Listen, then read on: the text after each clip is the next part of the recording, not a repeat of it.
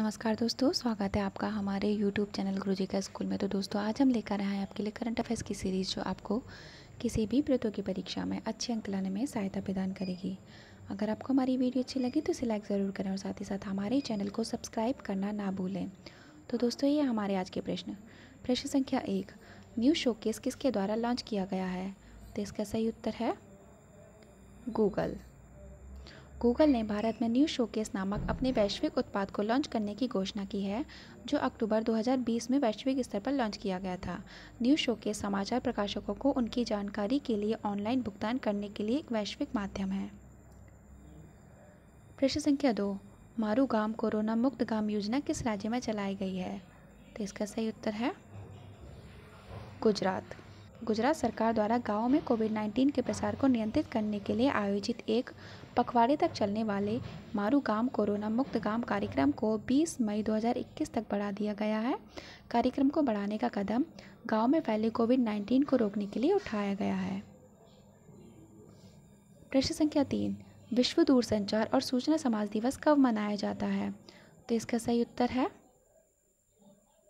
सत्रह मई। विश्व दूरसंचार और सूचना समाज दिवस हर साल सत्रह मई को मनाया जाता है। यह दिवस इंटरनेट के उपयोग के बारे में जागरूकता बढ़ाने के लिए मनाया जाता है, क्योंकि यह समाज और अर्थव्यवस्था व डिजिटल विभाजन के बीच की दूरी को मिटा सकता है। 2021 का विषय है accelerating digital transformation in challenging times. प्रश्न संख्या चार महिला वर्ग में इटालियन ओपन चैंपियनशिप ने किसने शीर्ष दस में प्रवेश किया है? तो इसका सही उत्तर है ईगा स्विएटेक।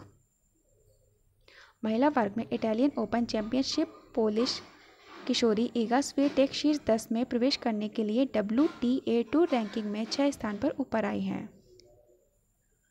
प्रश्न संख्या पाँच, इटालियन ओपन के फाइनल में राफेल नडाल एटीपी रैंकिंग में कौन से स्थान पर हैं? तो इसका सही उत्तर है तीन। टेनिस में इटालियन ओपन के फाइनल में नोवाक जोकोविच पर तीन सेट की जीत के बावजूद, स्पेन के राफेल नडाल 18 मई 2021 को जारी एटीपी रैंकिंग में तीसरे स्थान पर बने हुए हैं। प्रश्न संख्या छः, विश्व एड्स टीकाकरण दिवस कब मनाया जाता है? तो इसका सही उत्तर है 18 मई। विश्व एड्स टीकाकरण दिवस 18 मई को मनाया जाता है। इसका उद्देश्य एचआईवी संक्रमण और एड्स को रोकने के लिए एक टीके की निरंतर और तत्कालिक आवश्यकता को बढ़ावा देना है। विश्व एड्स टीकाकरण दिवस 2021 का विषय है वैश्विक एकजुटता। प्रश्न संख्या सात, थोक मूल्य मुद्रा स्फीति दर में कितने प्रतिशत की वृद्धि हुई है? तो इसका सही उत्तर है दस पॉइंट चार नौ प्रतिशत।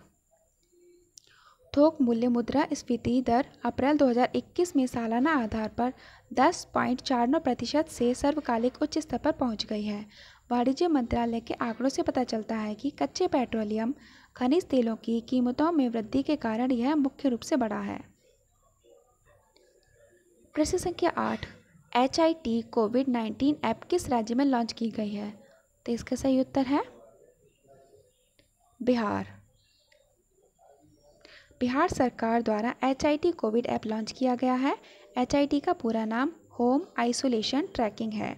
इसके अंतर्गत स्वास्थ्य कार्यकर्ता प्रतिदिन घर पर मरीजों का दौरा करेंगे और उनका तापमान और ऑक्सीजन स्तर मापने के बाद ऐप में डाटा फ़ीड करेंगे। प्रश्न संख्या नौ, कोविड नाइन्टीन अनुकंपा नियुक्त योजना किस राज्य में चलाई गई है? तो इसका सही उत्तर है मध्य प्रदेश। मध्य प्रदेश द्वारा मुख्यमंत्री कोविड नाइन्टीन अनुकंपा नियुक्त योजना के तहत कोविड के कारण ड्यूटी पर अपनी जान गंवाने वाले राज्य कर्मचारियों के परिजनों को नौकरियाँ प्रदान की जाएँगी। प्रश्न संख्या दस, किस राज्य सरकार द्वारा कोविड नाइन्टीन के कारण अनाथ बच्चों के लिए दस लाख की एफडी प्रदान करने का निर्णय लिया गया है? तो इसका सही उत्तर है आंध्र प्रदेश। आंध्र प्रदेश के मुख्यमंत्री वाई एस जगन मोहन रेड्डी ने कोविड 19 के कारण अनाथ बच्चों के लिए 10 लाख रुपए की एफडी करवाने का निर्णय लिया है। यह डिपॉजिट बच्चे की 25 वर्ष की उम्र तक चलेगा। हर महीने बच्चे के अभिभावक को एफडी पर 5 से 6 प्रतिशत का ब्याज भी दिया जाएगा। प्रश्न संख्या ग्यारह। किस टेलीकॉम कंपनी द्वारा अंतर्राष्ट्रीय पनडुब्बी केबल प्रणाली का निर्माण किया जाएगा? तो इसका सही उत्तर है रिलायंस जियो रिलायंस जियो इन्फोकॉम भारत पर केंद्रित सबसे बड़ी अंतर्राष्ट्रीय पनडुब्बी केबल प्रणाली का निर्माण करेगा। जियो वर्तमान में डेटा की मांग में वृद्धि को संबोधित करने के लिए दो अगली पीढ़ी के केबल तैनात कर रहा है। प्रश्न संख्या बारह। Firm Verisk Maplecroft द्वारा जारी किए गए विश्लेषण में दुनिया के सबसे प्रदूषित शहरों की सूची में भारत के कितने शहर शामिल हैं? तो इसका सही उत्तर है, तैतालीस शहर। Firm Verisk Maplecroft द्वारा जारी किए गए विश्लेषण ने कई कारकों पर दुनिया के पाँच सौ छिहत्तर सबसे बड़े दूषित शहरों को स्थान दिया है। विश्लेषण के अनुसार सूची में शीर्ष सौ शहरों में से तैतालीस के साथ भारत सबसे अधिक जोखिम वाला देश है। प्रश्न संख्या तेरह 2021 में किसे मिस यूनिवर्स के रूप में चुना गया है? तो इसका सही उत्तर है एंड्रिया मेजिया। मिस मैक्सिको को 16 मई 2021 को फ्लोरिडा में मिस यूनिवर्स का ताज पहनाया गया। एंड्रिया मेजिय, ब्राज़ील और पेरू के फाइनलिस्ट से आगे पहले स्थान पर रही हैं। इसी के साथ मिस इंडिया, एडेलिन कैस्टिलिनो तीसरे रनअप के रूप में रही हैं। प्रश्न संख्या चौदह, अंतर्राष्ट्रीय संग्रहालय दिवस कब मनाया जाता है? तो इसका सही उत्तर है अट्ठारह मई।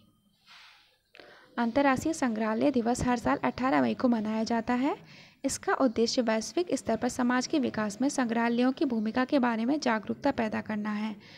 वर्ष 2021 की theme, the future of museums recover and reimagine है। प्रश्न संख्या पंद्रह, सिक्किम का स्थापना दिवस कब मनाया जाता है? तो इसका सही उत्तर है, सोलह मई। सिक्किम हर साल सोलह मई को अपना राज्य स्थापना दिवस मनाता है। यह उन्नीस में उस दिन को चिन्हित करता है जब सिक्किम एक राजशाही तंत्र से भारत का बाईसवां राज्य बन गया था। तो दोस्तों, आज के प्रश्नों की श्रृंखला हमारी यहीं समाप्त होती है। अगर आपको हमारे ये प्रश्न अच्छे लगे तो हमारी वीडियो को ज़रूर लाइक करें और इसके साथ घर पर रहें, स्वस्थ रहें और सरकार के निर्देशों का पालन करते रहें। धन्यवाद।